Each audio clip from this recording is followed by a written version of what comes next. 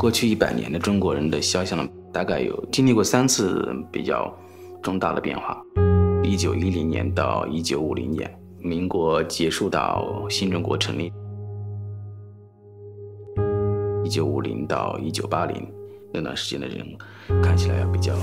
严肃一些。呃，一九八零到二零一零，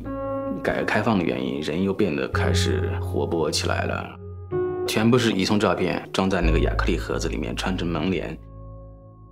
在穿越门的时候，会体会到过去中国人的这种变化。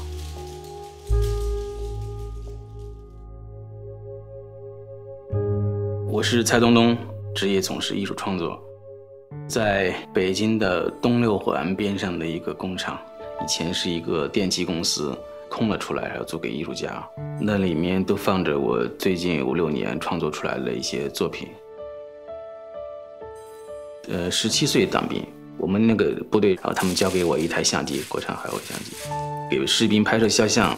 从部队出来的时候就已经是一个非常职业的摄影师了。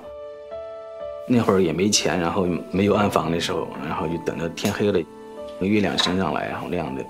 一种状态洗照片。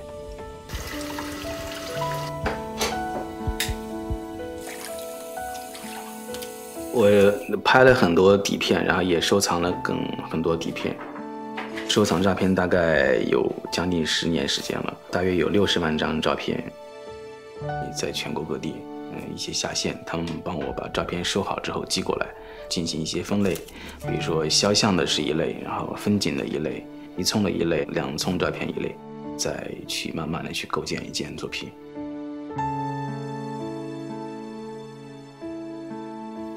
有一群那个少数民族，他们在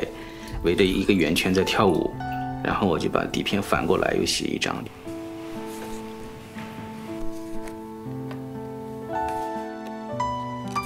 然后我将一只镜头拧在拧在中间，就形成了瞳孔嘛，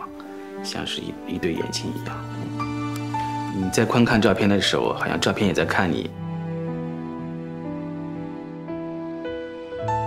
全那件作品是我收藏了一个马家窑文化晚期的一个葡萄罐然后我把现在的一张瀑布的照片卷了一个卷筒，然后插在那个罐子里面，感觉那个瀑布就流向了那个罐子，将现在跟四千年前做了一种时空的一种对接。训练的、打靶的呀，这些我收藏照片里面是量最多的一些照片。我从小是在一个部队大院里长大的，对这种集体文化是非常了解。有一些照片是用拼贴的方式来做的。大丰收，大跃进时期的一张照片，三个女孩在那里给一个麻袋里装粮食，然后她们好像在无限的在装自己。照片里面所承载的内容，也就是那个时代的一种生活状态。你在破坏照片的同时。松动了历史，人的外貌、形象、气质的变化是受到社会的改变而改变。再过二十年，